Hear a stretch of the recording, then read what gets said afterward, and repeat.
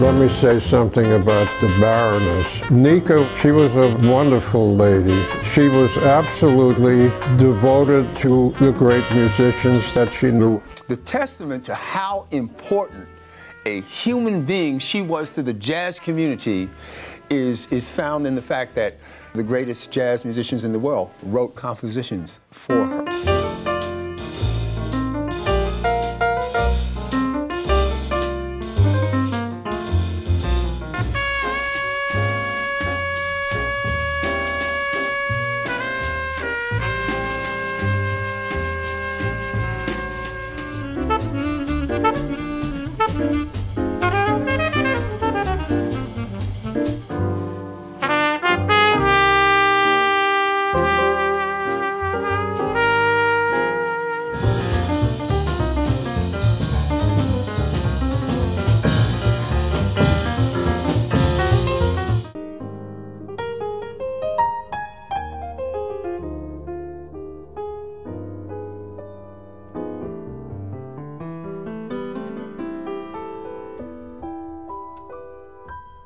The Baroness was uh, the, the, granddaughter of Baron Rothschild.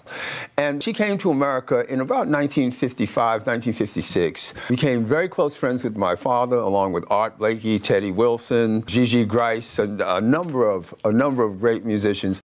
Good evening, everybody. This is Nica's Tempo, and tonight we are coming to you direct from the Five Spot Cafe. And that beautiful music you hear is coming from Thelonious Monk and his quartet. These shelves, unfortunately, tend to break the spines of the records, so you can't easily read them. These are all Monk records I'm going through, every single one.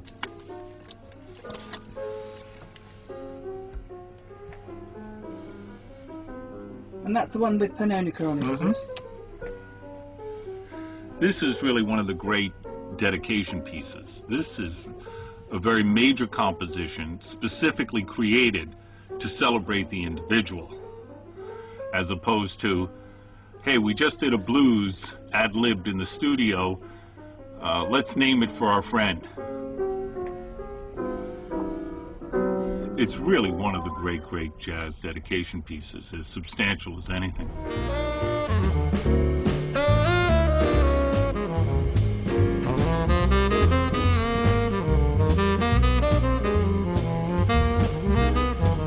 Create a quiz about Nica.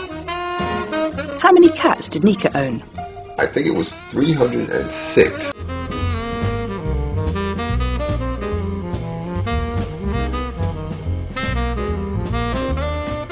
Which legendary jazz musician died in Nica's apartment? Charlie Parker.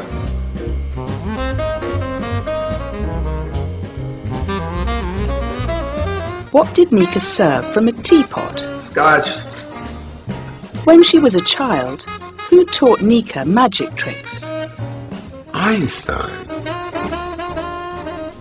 She had the Bentley, which has become famous. She was a hell of a driver. You know, she'd been an ambulance driver for the Free French in uh, Algiers during World War II.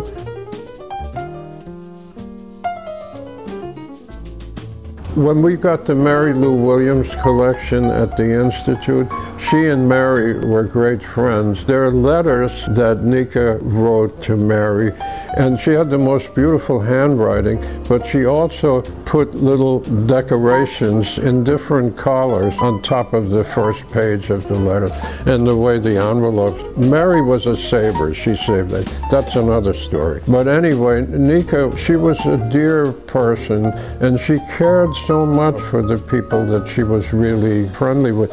Coleman Hawkins, for one, I mean, that's one place where I was pretty close. So I knew how much she looked out for Hawkins uh, when he was on his decline there. She was a terrific lady. Hi, everybody. Very glad to be here today. I would like to play a little tune I just composed not so long ago uh, entitled Pannonica. It was named after this beautiful lady here. Merci beaucoup ladies and gentlemen. Thank you, Thelonious Monk.